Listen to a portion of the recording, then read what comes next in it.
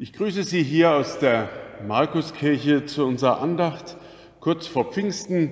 Morgen wäre Anstich der Bergkirchweih.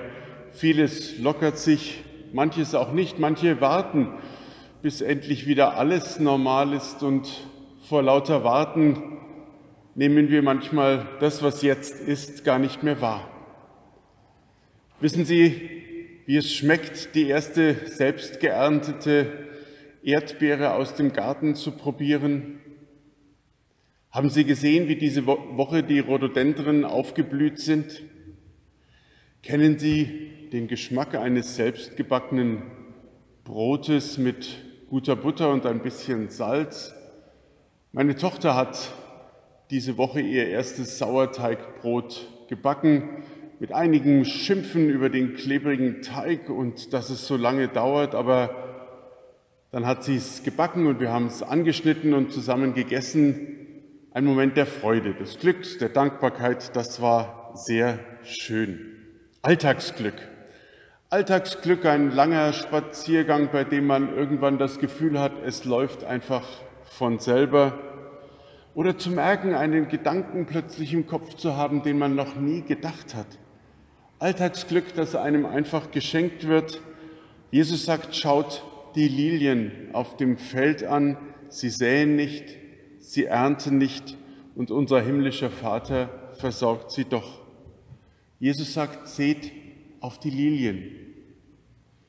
Die Lilien auf dem Feld damals, die hat man nicht in einer Gärtnerei oder einem Blumenladen gekauft. Die Lilien auf dem Feld zur Zeit Jesu, das war so viel wie Unkraut, mehr nicht.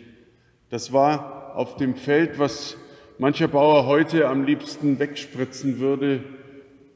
Unkraut eben, Kornblumen, Margeriten, Löwenzahn, Gänseblümchen, die Pflanzen auf dem Feld, die eigentlich überflüssig sind, die nicht gebraucht werden. Vielleicht schön, vielleicht hält mal ein Auto an und pflückt einen Strauß, aber eigentlich wichtig, eigentlich zu gebrauchen sind sie nicht, sie sind überflüssig. So sagt auch Jesus selbst, zuletzt werden sie eingesammelt und verbrannt, sie sind nicht zu brauchen. Seht die Lilien auf dem Feld an, sie sind einfach so da. Es geht nicht darum, ob sie besonders nützlich sind. Sie sind da, Gott schenkt sie uns und ich glaube, er will uns mit diesen Lilien zeigen, wie wir auf das Leben schauen. Er will uns helfen, das Leben zu entdecken, das uns einfach so geschenkt wird so wie der Duft eines frisch gebackenen Brotes eben oder die Freude über die Spiegelung der Abendsonne in einem See. Es gibt von dem Reformator Thomas Münzer, einem Zeitgenossen von Martin Luther, den Gedanken der Langenweile. Es geht nicht um die Langeweile, die Kinder überhaupt nicht gerne mögen. Und vielleicht haben Sie in der Zeit des Shutdown diese Langeweile auch neu kennengelernt. Früher hingen wir als Kinder schon oft mal rum und fragen, Mama, uns ist so langweilig, was können wir denn machen? Hast du vielleicht was Gutes zu essen? Dürfen wir Fernsehen? Geh raus, sagt sie, geht an die frische Luft oder räumt eure Zimmer auf oder helft mir hier in der Küche. Oh, wir haben uns schnell wieder getrollt, um nicht gleich für die Arbeit eingespannt zu werden. Zeit muss sinnvoll genutzt werden und wenn einem langweilig ist, dann muss man, muss man eben dafür sorgen, dass man etwas zu tun hat. Thomas Münzer aber weint mit dieser Langeweile etwas anderes. Seine Langeweile hat er mit diesem Alltagsglück und der Wahrnehmung zu tun. Er selbst war kein einfacher Zeitgenosse, ein sehr kämpferischer Reformator, der seinen Kampf im Bauernkrieg mit dem Leben bezahlt hat. Gleichzeitig hat er eine sehr tiefe innere mystische Glaubensgewissheit in sich getragen und hat diese Langeweile als eine Kunst, die man lernen kann, beschrieben kann, als ein Geschenk, was in uns wachsen kann.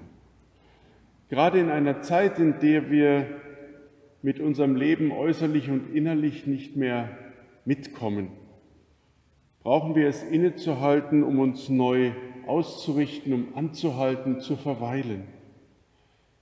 Vielleicht ist oder war die Zeit, in der vieles jetzt nicht sein konnte oder jetzt eben die Bergkirchweih nicht sein kann oder der Kirchenchor nicht stattfindet, eine Zeit, um zu verweilen und die Momente des Lebens und das Alltagsglück neu wahrzunehmen. Verweilen, lauschen, spüren, die Vögel und was immer auf dem Balkon zu entdecken ist, eigenen Gedanken nachzugehen, einen Geschmack neu zu sehen. Auf Parkbänken darf man getrost wieder sitzen und den Blick und das Herz kann man schweifen lassen. Jesus sagt, schaut die Lilien auf dem Feld an, sie säen nicht, sie ernten nicht und unser himmlischer Vater versorgt sie doch. Thomas Münzer sagt, die Langeweile beginnt mit etwas, das uns tatsächlich erstmal innehalten lässt ein Erschrecken, ein Staunen, er nennt das Verwunderung.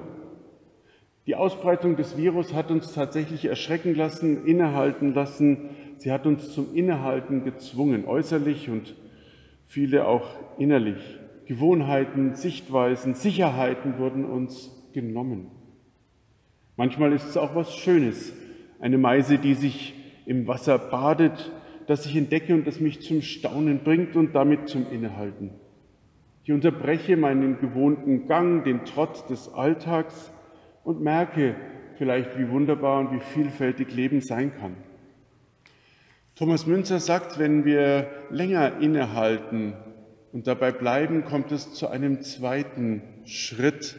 Dieses Innehalten wird tiefer und es führt zu so etwas, was er Entgröberung nennt. Entgröberung. Man könnte vielleicht auch Verfeinerung sagen, aber ich finde es trotzdem ein tolles Wort. Entgröberung. Ich setze Prioritäten, ich ordne mein Leben, ich misste mein Leben aus, wie viel Müll ist jetzt sozusagen gelagert und wartet darauf, in die Wertstoffhöfe gebracht zu werden. Ich ordne mein Leben, ich ordne meine Seelenkammern, um dem Wesentlichen in meinem Leben wieder neu Gewicht zu geben und Raum zu geben. Mit diesem zweiten Schritt reinigt sich gewissermaßen der Acker meines Herzens von Disteln und Dornen, von Steinen, das falsche Ego, meine Eitelkeiten weichen. Wie viel an Sicherheit hat uns diese Zeit genommen und wie viel ja, Verletzlichkeit hat sie auch gezeigt. Haltet euch selbst nicht für klug. Das ist auch ein Ergebnis dieser Zeit. So wird dann immer mehr der Raum frei in mir. Und Thomas Münzer sagt dann, wenn dieser Raum frei wird, wenn das Herz wieder offener wird, dann wird auch so etwas wie Sehnsucht nach Gott frei. Er nennt das das Gott vermissen, wird frei, die Suche nach Gott und einem tieferen Halt in meinem Leben bei ihm. Wir werden immer mehr frei, wirklich zu sehen. Wir sehen die Lilien auf dem Feld, wir sehen uns als Teil der Schöpfung mit ihnen verbunden, miteinander gehalten bei Gott. Die Kunst der langen Weile wächst. Hinsehen, nichts müssen, nicht unbedingt etwas wollen, etwas durchbringen müssen, nichts haben müssen, einfach nur sein dürfen. Dankbar für den Moment, für die Güte Gottes, die mich hält, die uns hält und verbindet und uns nahe ist. Also ich wünsche Ihnen, dass Sie, ja, dass Sie mit dem vielen, was jetzt wieder losgeht, sich nicht so sehr gefangen nehmen lassen, sondern noch etwas genießen von dieser langen Weile, das Alltagsglück immer wieder entdecken in einem Bissen Brot oder einer Blume. Lassen Sie uns beten. Gott, öffne mir die Augen, mach meinen Blick und mein Interesse weit, damit ich sehen kann, was ich noch nicht erkenne. Gott, öffne mir die Ohren, mach mich hellhörig und aufmerksam, damit ich hören kann, was ich noch nicht verstehe.